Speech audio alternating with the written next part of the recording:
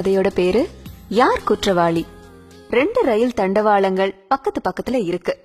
ஒண்ணுல ரயில் எப்பவுமே வராது. இன்னொன்னுல அடிக்கடி ரயில் வரும். வராத தண்டவாளத்துல ஒரு குழந்தை விளையாடிக்கிட்டு இருக்கு.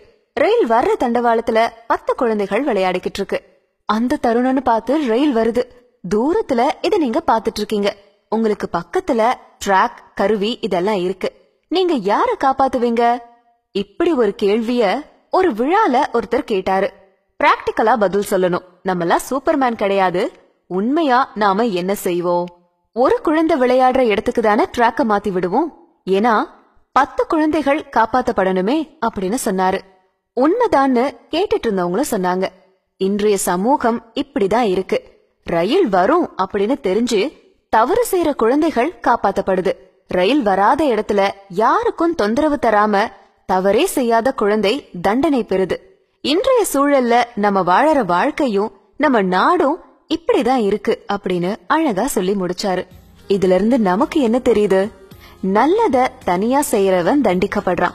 தப்ப கூட்டமா செய்யறவங்க தப்பிச்சுக்கிறாங்க. அதுக்காக எல்லாரும் செய்யறாங்கன்னு அந்த தப்ப நம்ம செய்யக்கூடாது. என்ன ஃப்ரெண்ட்ஸ் இந்த கதை உங்களுக்கு பிடிச்சிருந்ததா? மறக்காம ஷேர் பண்ணுங்க. நாளைக்கு